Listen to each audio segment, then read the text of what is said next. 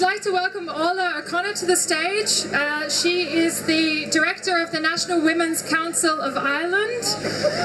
Ähm, ich sage das nochmal auf Deutsch, ich weiß nicht, wo Katrin ist. Ähm, genau, wir ähm, äh, haben hier Orla O'Connor. Sie ist die Direktorin von dem National Women's Council Irland. Das ist sowas wie der Frauenrat vom Irland. Und sie wird ihr Beitrag auf Englisch machen und dann mache ich eine kurze Übersetzung. Hello, everybody. No German, so I do have to speak in English. But it's a real honour and a privilege to be here with you today. Last year, I had the honour of being one of the three co-directors of the Together for Yes campaign, which through the absolute tireless work of feminist campaigners across Ireland and also abroad, won the referendum campaign to provide abortion access to, to women for the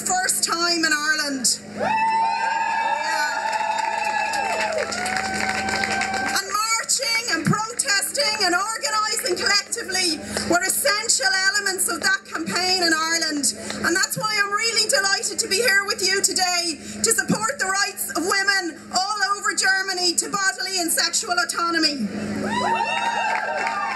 We know from our successes in overturning Ireland's ban on abortion that real, meaningful change is not alone possible, but it's absolutely achievable. And the feminist movement in Ireland stands with you, our feminist sisters and people in Germany, in Europe, and across the world who are fighting for women's reproductive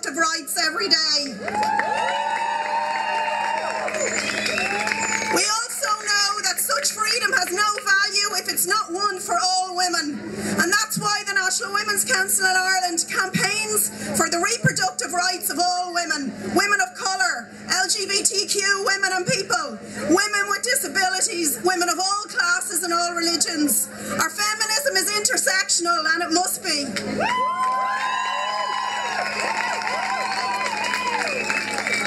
It may come as a surprise, but countries such as Germany have acted as a beacon for Ireland in the past, when for decades we had no access to fundamental reproductive rights, such as contraception or abortion. But we all know here how quickly women's rights can be rolled back, and that the forces of the right across the world are chipping away at the freedoms women hold. Access to safe legal abortion is indistinguishably linked to women's human rights values. Values that protect a woman's right to privacy, her bodily integrity, her right to be free from inhumane, cruel and degrading treatment, and her right to accessible, appropriate and quality health care. And to provide safe and legal abortion consistently contravenes our human rights. Controlling women's reproductive rights is about controlling women, and this is the case whether the restrictions are in Ireland, in Germany, or in El Salvador. And as feminists, we must shout from the streets, as we are doing today, that women must have the right and ability to make decisions about their only about their lives, because it's only then that women will be free. Until last year. Year, Ireland had one of the most limited abortion policies globally. In 1983, the referendum which was inserted in our constitution equated the right of the life of a fetus with that of a pregnant woman, which resulted in an all-out ban on abortions. That amendment was so reflective of a society that controlled women's lives, that judged women, to the extent that we forcibly took children away from lone parent women and we incarcerated them in large institutions because they did not fit in with the norm view of what it was to be a woman or to be a mother. Of course, the constitutional ban on abortion did not mean that women were not having abortions. Whether by travelling abroad or by using abortion pills online, thousands of women in Ireland chose to end a pregnancy. So the ban failed.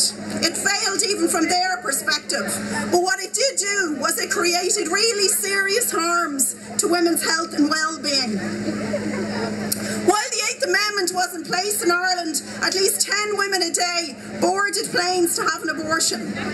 But of course, they were the women who could afford it and the do so. Devastating psychological and physical harm was caused to women in Ireland in those years. And during the campaign, many women told me how they felt like criminals, how they could not talk to their families and friends because of the shame they felt and the fear of being judged. The ban disproportionately impacted on women who were already disadvantaged. Women with, no, with very little income, minors in state care, women with disabilities, women experiencing domestic and sexual violence, and women asylum seekers and women who are undocumented. All of these restrictions on abortion, whether it's in Germany or in, in Ireland, impact on those groups of women to a much greater degree. And thankfully, the people in Ireland could no longer stand for the situation and the harm that was being done to women. The movement to remove the Eighth Amendment was built slowly over time, but gradually public support increased and increased to the extent that in one of the last marches before the referendum, our last march for the March for Choice, before the referendum was passed, over 20,000 people gathered on the streets in Dublin and, and throughout Ireland. We could we could see the movement growing through the conversations that took place share their concerns about abortion. People in Ireland started talking about the unspoken issue for women. And in 2018, finally, when the Together for Yes campaign came together, we worked tirelessly. And I really want to thank you today because we so appreciated the solidarity that we received from so many women and men throughout Europe and globally. The together so many sectors of society that had never worked closely before for abortion. Whether it was doctors and lawyers, they stood with us in solidarity at a time when women needed it most. But at the heart of our campaign were the experiences and the voices of women who were so extraordinarily brave in coming forward and sharing their deeply personal stories. These women opened the door for people across, the, across Ireland to understand the human impact of having an abortion ban. Courageous women show that abortion was not a divisive issue, but it is a normal and necessary part of women's health.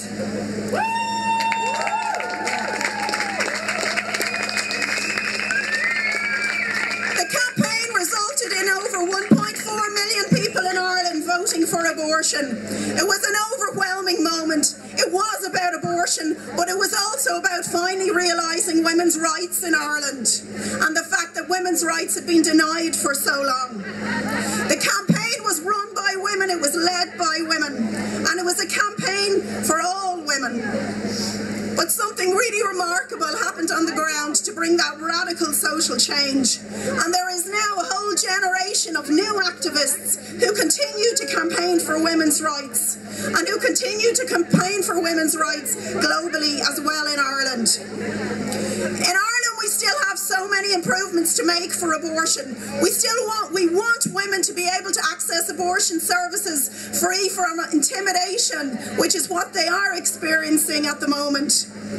And we also want to fully decriminalise abortion so that women's full reproductive, realize, reproductive rights can be realised. And also, we want women in the north of Ireland who are denied that access to have their full reproductive rights. So the fight is not over in Ireland and we still need your support. In Ireland, Germany and globally, women's rights are in the spotlight now and they're being actively contested. We were told that abortion was one of the most divisive issues, yet the persistent courage of women and the women's movement came together to bring about that change. We hope that Ireland's achievement can be a beacon for all of you who are here today to advance women's rights in Germany. But as feminists, we're all in this together until every woman, everywhere, can achieve her reproductive rights. So solidarity with you all today, and let's keep the struggle going. Thank you.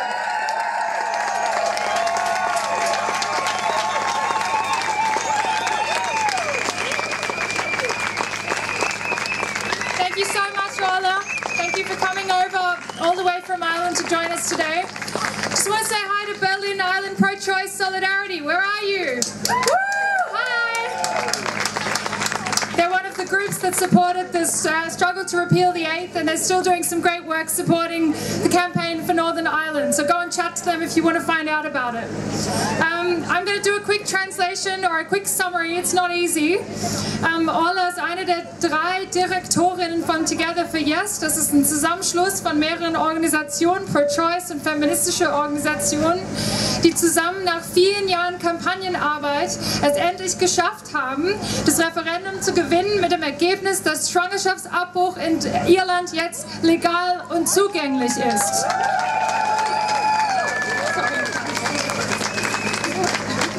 Äh, Sie freut sich sehr, hier zu sein und sagt, dass Demos und solche Aktionen und Mobilisierungen ein sehr wichtiger Teil von ihrem Kampf waren und von ihrem Erfolg.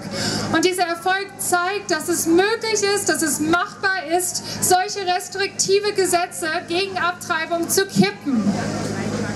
Ähm, äh, als Aktivistin stehen sie zusammen mit uns und mit allen Feministinnen in Solidarität und wollen unterstreichen, dass solche Schritte nur zur Befreiung führen oder zum Erfolg äh, führen, wenn sie reproduktive Rechte für alle erkämpfen. Das bedeutet Women of Color, LGBTU, äh, äh, TUI Menschen, sorry, ich habe es nicht so mit Buchstaben, ähm, Frauen mit Behinderung, Menschen aus allen Klassen, allen äh, Religionen. Ähm, der Zugang zu sicheren und legalen Schwangerschaftsabbruch ist ein Menschenrecht.